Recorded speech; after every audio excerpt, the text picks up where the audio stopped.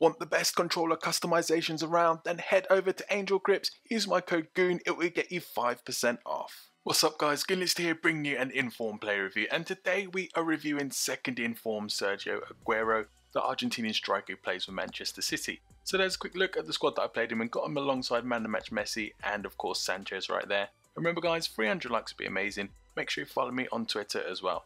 So taking a look at him, what you'll see is 5 for 8, high attacking, low defensive work rate, 4 star weak foot, 4 star skill moves, he's right footed, cost me his maximum net spots 1.8 million, 6 games, 12 goals and 1 assist is what he brought to the table. This uh, compares to his upgraded card, pace has gone up by 2, defending and passing both by 3, dribbling and physical both by 4, and shooting has seen the biggest increase going up by 5 overall. When we look at the in-game stats as well, what you'll see is lots of dark green. 9 to 5 acceleration is absolutely amazing, that yard of pace is crazy. Then of course lots of dark green with the reactions as well, vision, that is what you want and then have a look again, look at the shot power, finishing at 95, dribbling 94 as well. Absolutely amazing what you get from this guy. Agility as well, balance is amazing. Volley is just all what you want from a striker basically. That's where he is like loaded. Weighs 163 pounds, according to this can only play as a striker as well. And in terms of how stacked he is, speedster, dribbler, acrobat, clinical finisher, complete forward, injury prone and flair. So what are my expectations of this card? Well, Aguero was always my favourite BPL striker, so I definitely wanted to try this card out when I knew it was coming because he had a fantastic game, scored a hat-trick and also got himself an assist. So of course, what are you're going to get from this card? Well, this card's absolutely amazing. And I guess when I had a look at the strength, I think it was 74 in game, I thought, ah, oh, this guy's going to get bullied. And I've noticed that on some of the Aguero cards, he gets pushed off the ball. Well, I don't know what they've done to this one, but this guy just holds onto the ball. He doesn't let it go.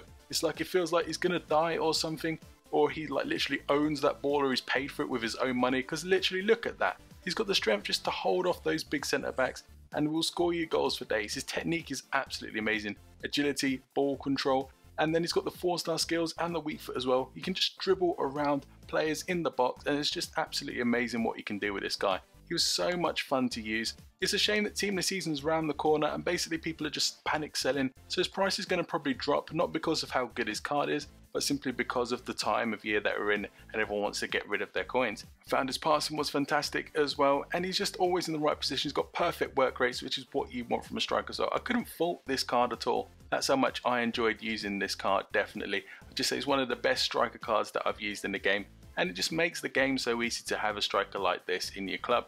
And of course, he is lightning quick. That acceleration just makes all the difference and just gives him that extra yard to get away from the defenders. So do you want to know if you should pick this guy up? Well, hopefully this guy will get a team this season. That card will be even better than this one. But right now, if you don't mind about dropping a little bit in terms of the coins, pick him up. If not, wait till his price drops.